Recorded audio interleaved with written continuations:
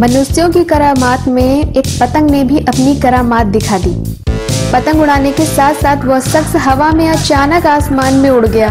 पतंग की डोर के सहारे शख्स काफ़ी देर तक हवा में झूलता रहा। हालाँकि ये वीडियो सोशल मीडिया पर बहुत जोरों से वायरल हो रहा है तो वीडियो को लाइक करें, सब्सक्राइब नहीं किया तो चैनल को सब्सक्राइब करने के साथ साथ नोटिफिकेशन बेल को दबाकर ऑल पे भी क्लिक कर लीजिएगा।